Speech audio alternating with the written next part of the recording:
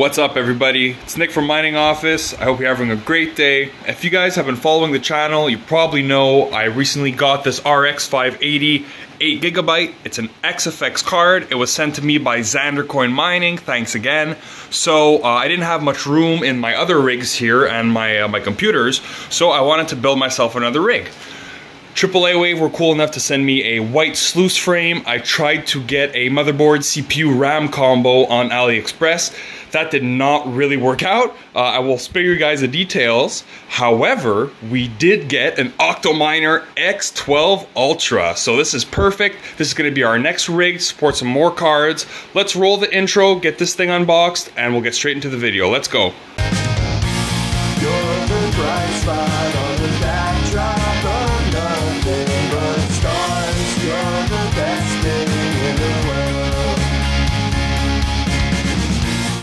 And here we are with the X8 Ultra unboxed. I'll give you guys a few close-up shots here. It's very sleek, very good looking. And I have all the equipment here I'm gonna need to get this guy set up. So first off, I have a HDMI cable. It's a bit overkill, it's pretty long, but I just wanna be able to hook it up to that monitor there, uh, just to get a readout at the beginning, get this thing up and running. So we got that. Uh, we got some stickers that were sent to us. These are some older ones from Caveman Mining, and uh, these I just got from Max Voltage actually, a little holographic one here. So these are stickers that are going to be going on this Octominer case ideally. Uh, if anybody wants to send stickers, this is where they're going to go. Uh, next we have a just a cheap ethernet cord I found at my local store here. And here you'll see I have a power cable. So we'll get to that for a second. It's the power cable for the server PSU. As you guys know, this comes with cables that are all the right length. I don't have many cards to put in here, but we'll definitely need a few of these cables. Uh, so it's cool that they're all set to length and already cable managed basically. That's very nice. And in here you have the 3 to 1 adapter uh, for your server PSUs. However, this is to be used with 240 volt, which I don't have here. It's going to be used with a normal 120 volt. Back. And uh, for shipping reasons, Octominer actually did not send us any of the server power supplies. They're going to be coming separately this week, but I couldn't wait to make the video. But they come with server power supplies exactly like this. They're 1,200 watts on 240 or 900 watts on 120 volt, and they are platinum efficiency, so really good. We should be ready to get up and running. The last thing is the SSD. So what I did is I followed the Hobbyist Miner's Guide to Flash Hive on here. I'm a total noob, so I'll link that up in the corner over there. I flashed Hive, I exported my rig config file, right, for the rig, and then I put it on here as well afterwards. So I slid that back in. It should be the latest version of Hive, and with that, we should be ready to go. We won't put in any cards for now, and I will go through the manual just to make sure I'm not missing anything or screwing anything up. Okay, we should be ready to go. The server PSU is plugged in. Uh, I have the HDMI cable plugged in. I'm oh, sorry, that's my mic cable. And we also have the ethernet in there. So this should be the start button.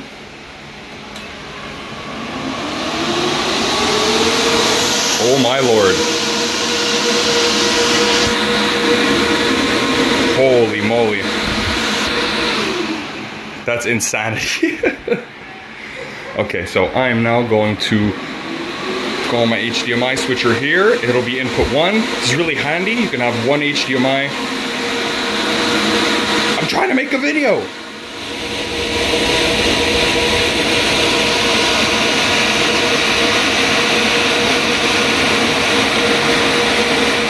All right, so hopefully you guys can hear me now. Um, I went on Hive OS. I turned down the fan speed for this to 20%. They were all at 100 by default, so that was just like a hurricane in here. I've I've never heard anything as loud as that. So um, it's good to know that these fans are powerful though, so that's a good thing. Um, they are now set to 20%. I have no cards in there. On my screen, HiveOS is working, everything's good, so that passes the check. So here, I'll show you guys that. That's what my screen looks like. I just have no flight sheet, so that's the next thing I'm gonna do. Actually, let me get this open. I'm gonna slap in the RX 580 at this point, so I'm gonna shut her down, I'll open it up, I'll put in the 580, I'll just get it mining on the side, just up and running, and then we'll go over the features of this Octominer server case. This is the main point of the video. Um, I'll be going over HiveOS in another video, the RX 580 hack hash rates for Ethereum, Ravencoin, another video. Uh, it's gonna be long enough as it is, and I really wanna focus on the Octominer here. So here we are. The RX 580 is up and mining Ethereum for now. I just wanted to get it up and mining. My next video will be testing this out on Ethereum and Ravencoin, uh, so I can't wait for that. But again, let's concentrate on the Octominer. So, as you guys know, this is an X12, which means you have space for 12 GPUs here, okay? So this is the back plane, which allows for a 10 additional GPUs on top of the motherboard here, which has space for two, all right? So that's great. Uh, in front here, you have these high CFM Delta fans. As you guys already heard, they are super powerful, so I won't even spend any more time on them. Uh, a feature I really like is this little display here, this little Bosch smartboard here that has your humidity, the air temp in out, power consumption, all that great stuff on this little uh, display screen here, so that's fantastic. And here you see they have a uh, custom breakout board with three hot swappable server PSUs. So like I said before, they didn't send me them yet. I'm gonna receive them next week. Luckily I had a spare silver power supply, which I was able to put in here and run for the time being. So that's pretty cool. Uh, when I get the other ones, I'll literally hot swap them. So if you guys want, I'll make a short on that, just showing you that functionality. I think it'll be pretty cool. One complaint I do have, or actually two, the first one is that it's quite hard to get the GPUs in here properly, uh, getting those two little pins seated in there and the PCIe aligned. So it can be a hustle to get those in and it's not super easy to identify what cable goes to what here. So they tell you to insert these in a certain way, the longest first, um, going all the way to the shortest. However, it's, it's not easy to follow all these cables back. It looks easier than it is. So maybe I should have put this GPU all the way over there, but whatever, it is what it is. We'll figure it out as we go. It's a very small complaint. And uh, overall, this is really great. Uh, a small thing you can't see because I put the GPU there is there is no CMOS battery. However, you don't really need it. Unless you're playing with settings in the BIOS, you have to change with this thing. You should be good to go.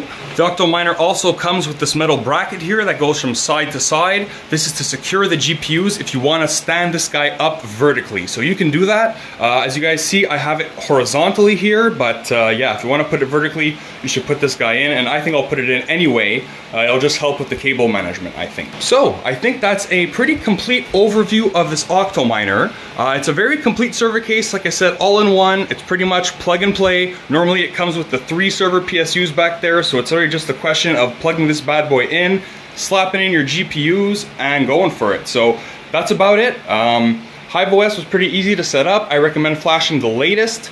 And after that, you're really golden. So uh, look forward to this RX 580 video coming up next.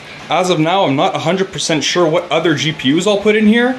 Ideally, I mean, these motherboards, I'm using 4 to 1 splitters on this one and even that one down there. And they've been having slight stability issues recently. Every once in a while they'll crash and I'll have to reboot them. So what I'm thinking of doing is reducing both of these rigs to 6, which is what these motherboards can support natively um, and putting the rest in this Octominer. So I can definitely do it. I also have two cards in this PC, so I'll take one out of there. Uh, it's just a question of figuring out which ones I want to put in there. Also considering that in HiveOS, you cannot see the VRAM temperatures of, you know, 3070 Ti's, 3080s, 3080 Ti's, of which I have here and over here. So Guys, that's gonna be it for this video. Let me know in the comments what you think I should be putting in this Octominer case in terms of GPUs, and let me know what feature you like the most about this case. I'll see you guys next time for the RX 580 video. Mining Office, out.